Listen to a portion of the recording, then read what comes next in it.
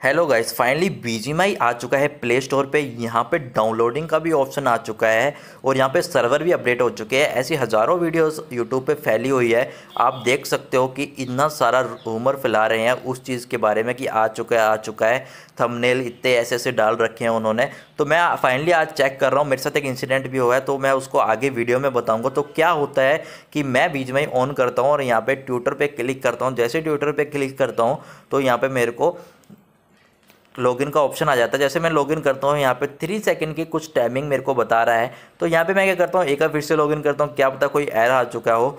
But नहीं भाई, ऐसा कुछ नहीं था। तो यहाँ पे मेरे को कुछ नोटिस वगैरह दिखा देगा कि भाई, तुम्हारा क्या है बीच अभी तक चला नहीं है सर्वर ऑन नहीं हुए हैं।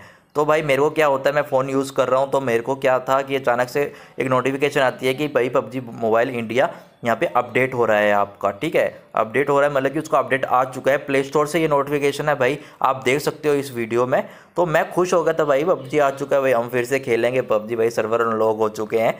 बट ऐसा नहीं था यार, मैंने पबजी खेलना चाहता था बट नहीं खेल सका क्योंकि भाई प्ले स्टोर पर आया ही नहीं है सर्वर अनलॉक ही नहीं है उसके लोग ऐसे ही रूमर्स फैला रहे हैं इसके बारे में। तो ऑफिशियल न्यूज़ अभी तक कोई नहीं आई है कि भाई कितने टाइम में आ जाएगा या एक दो दिन में आएगा कि ऑफिशियल कोई डेट नहीं है, बस वो कह रहे हैं कि जल्दी आएगा।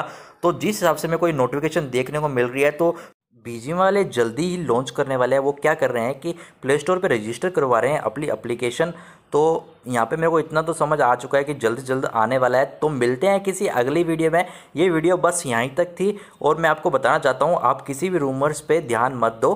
जल्द जल्द पबजी आ जाएगा। ऑफिशियल न्यूज़ पे ध्यान दो। ऑफिशियल न्यूज़ आ जाएगी कि भाई पबजी आ जा चुका है प्ले स्टोर पर हो चुका है। तो थैंक यू